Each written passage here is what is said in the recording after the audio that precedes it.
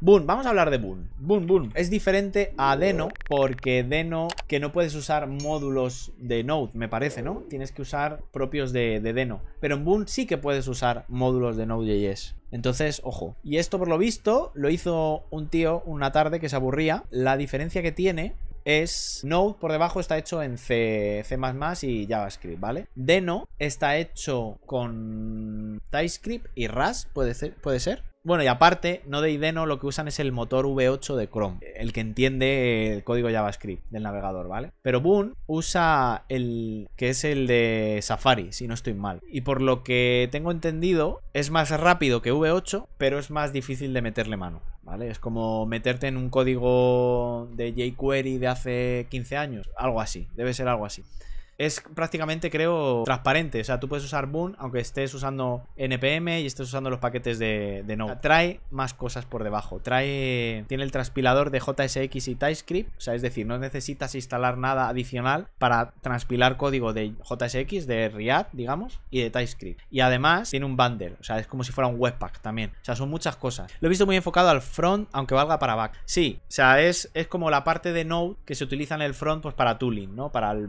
el bundling y demás. Y para transpilar y todo eso. Eh, lo que pasa que también creo que hace un poco la parte que tiene Node. Tiene pintaca. De entre Deno y Boom, yo creo que Boom. Aunque hayan puesto esta gráfica aquí tan preciosa y digan Boom es 45 veces más rápido que, que, Node, tiene buena pinta. Y lo que me sorprende es eso, que lo ha hecho una sola persona. Eh, bueno, pues como eh, Ryan Doll cuando hizo Node, bueno, y como Brendan H cuando hizo JavaScript, que lo hizo él, lo hizo en cuatro tardes, ¿no? Pues esto igual. Al final, estas cosas que se hacen en, una tarde son las que luego van tirando, ¿no? Entonces, nada, algún día le, echaré un vistazo porque tiene buena pinta aquí el, el, dios de las empanadillas. Si habéis visto Thor, me entenderéis. Tiene pintaza y cada vez hay más devs trabajando en el proyecto. Claro, es open source y lo ha dejado aquí abierto para, oye, mira, yo he hecho esto, pero ayudarme porque ya no sé qué más hacer. Entonces aquí está el dios de las empanadillas. Hombre, como sticker está guay. O sea, ya con esto te ganan, ya te ganan con esto. Deno, pues bueno, es un dino ahí raro, que tiene su gracia, pero claro, es que ves al dios de las empanadillas y, y, es así. Pero eso también es que es curioso porque ya hemos pasado de tener un framework de JavaScript cada semana a tener un runtime de JavaScript cada semana. O sea, alucinante.